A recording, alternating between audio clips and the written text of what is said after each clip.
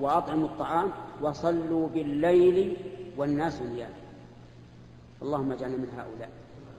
صلوا بالليل والناس نيام.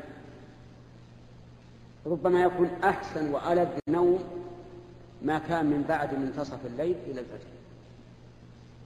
فإذا قام الإنسان في هذا الوقت لله عز وجل يتهجد يتقرب إليه بكلامه وبدعائه خاشعا بين يديه والناس نائمون فهذا من أفضل الأعمال. صلوا بالليل والناس نيام ففي هذا وهذا محل الشاهد من هذا الحديث أن الرسول صلى الله عليه وعلى آله وسلم جعل الصلاة بالليل من أسباب دخول الجنة.